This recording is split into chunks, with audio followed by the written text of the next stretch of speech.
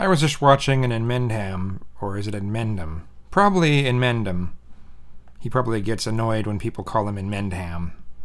Sort of like people calling me Kizumi. No, it's Kizzume. Anyway, I was watching a video of his about how stupid it is to tax cigarettes to to oblivion. You know, it's that's not a good way to try to get people to stop smoking cigarettes. It doesn't matter what excuse you give for that. That's bullshit.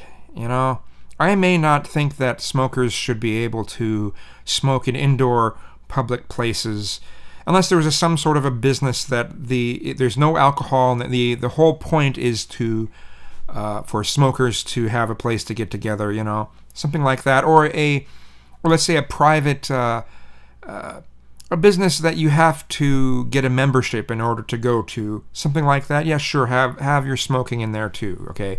But if it's a if it's a public indoor place uh, no you know? That that has alcohol uh, no. That's messing things up for for others. Um, I also don't think that you should be able to smoke around children indoors. Uh, sorry, it, it, might be your own home, but uh, you don't you don't uh, subject your children to that sort of shit. Sorry, but taxing them like crazy that's not a good way to to get people to stop smoking. I mean, it, at least if you had the excuse of uh, any taxes that go above and beyond the normal amount that anything else is taxed, that that money would go into programs to help people stop smoking. You know, at least if, if something like that was going on, there there'd be an excuse that's yeah, well, I guess I, I guess that's that makes sense, but that's not what's going on. They're just using it as another revenue stream, and I, I think that's messed up. It's sticking it to the cigarette smokers. Um, I also think it's really stupid how people are putting vaping in the same category, in the same uh, danger element as cigarettes. It's like, no, no. We already know that, that vaping is far, far, far, far, far less dangerous than cigarettes.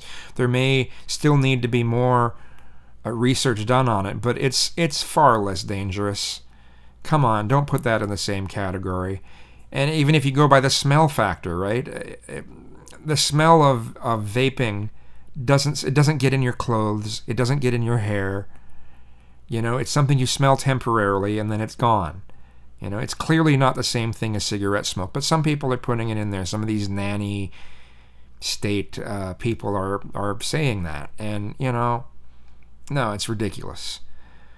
And anyway, I, I just I just mainly wanted to make a video showing, hey, I think it's ridiculous. I think it's outrageous to tax cigarettes as much as they've been.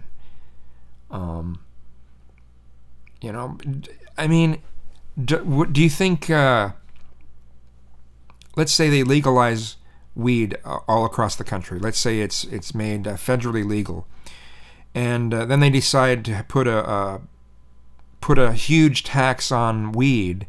Do you think that's going to stop people from doing weed, or do you think it's just going to make people go on the black market more?